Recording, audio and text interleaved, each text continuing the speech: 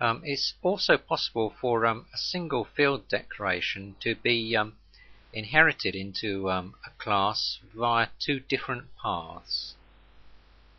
But that's not a problem because for that to happen it, it must have come from an interface.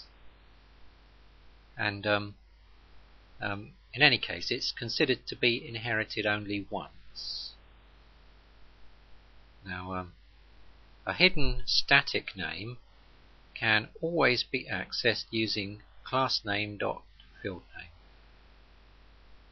And a hidden instance variable may, and I stress that word may, uh, be accessible using cast or super. Sometimes you can't do it that way. And uh, here's an example to uh, demonstrate that. In uh, this package, package 1 here, we've got this class with a um, field k uh, that's an integer and it's um, protected. Set equal to 1. And uh, here in this uh, uh, class here, again in package 1, we have uh, class Q, which um, extends P, and uh, this time the uh, uh, field K is set equal to 9, and uh, it's a private integer. Now in this case, um, this field here, this K here, um, hides the K there. But what's more, it doesn't matter what this is, in fact. Um, this could even be a static reference type. So it could be something like um, um, a static um, um, array of Q, for instance. It doesn't matter at all. What matters only is the name. The fact that the name of this field matches that means it's going to hide it.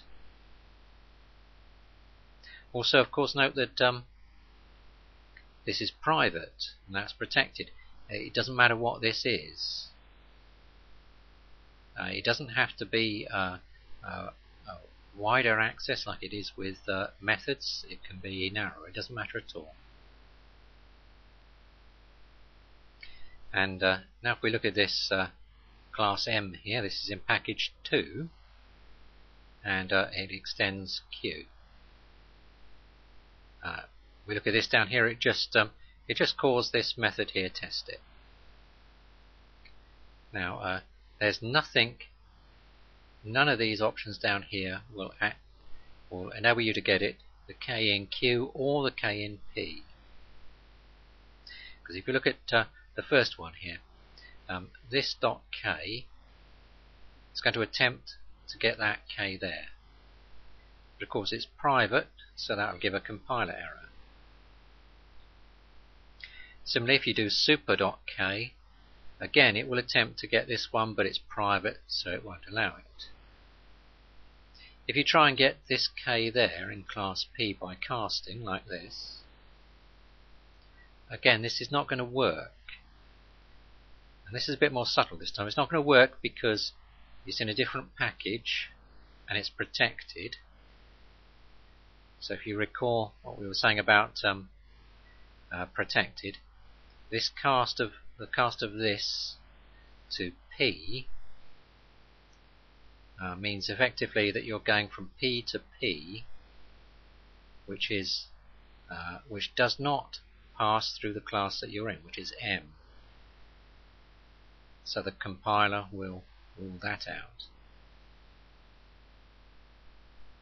Uh, likewise, if you just um, you just uh, try and get K directly again, it will not work because it's private.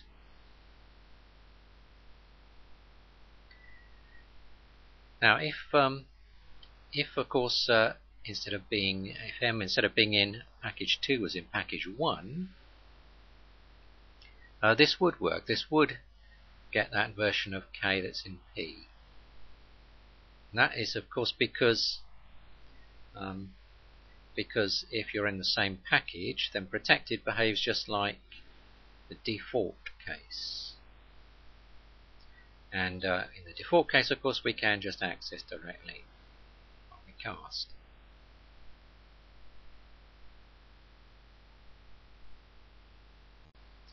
Uh, just a few more things to say about super and uh, this. Um, there are two different uses of uh, this in Java, and there are two different uses of super as well. Now, so far we've only seen both of them used as references.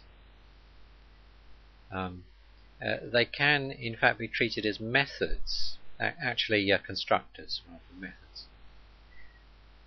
Uh, of course, there's never any ambiguity again because constructors are always followed by left bracket and references aren't. They're followed by a dot or nothing at all. Now, as um, methods or constructors, I should say, this um, is a constructor in the current class, and super is a constructor in the super class. And when we come to deal with class initialization shortly, we're um, I'll go into a lot more detail about this. Now, um, in general, of course, it's a, a bad idea to have a, a, variable and a constructor or method, for that matter, with the same name. But um, doing things like this, um, um I suppose, saves um, a couple of keywords in the language, and um, it, it sort of makes sense in a way, I suppose, as well once you've seen it done. Anyway, it's never really a problem. Okay. Um, I thought I'd show you a few examples here when you where you've got to use this. Um, yeah, in this class A here we've got x and y and uh, this example here takes um, two arguments x and y that are passed into this method and um, it just sets the uh, field x and y to that value obviously um, and here of course you've got to use this Using this, of course, this dot x refers to that, this dot y refers to that. Um, technically, of course, we say that um, x and y here are are shadowed rather than hidden. And we do that because it all takes place within one class here. And this uh, sometimes happens with local variables and um, arguments. They often shadow uh, fields outside. Um, here's another example where you've got to use this. Um, uh, this and this time is um, being used just by itself here. Uh, taking in a um, reference to A, and if it's uh, the same as the one that we're in, it returns true, otherwise false. Okay. Uh, now, um, super. Uh, when when super is used as a reference, it's got to be followed by a dot and an identifier, where the identifier is either a field or a method, etc. Um, unlike this, you cannot use it alone. You can't use it by itself, just like that. Also, you can't do something like um, super dot super. That's not allowed either you can only go to the to the class that uh, you're extending. You can't go further up the tree. And that would be rather um, rather bad practice anyway, because it uh, would not be very object oriented.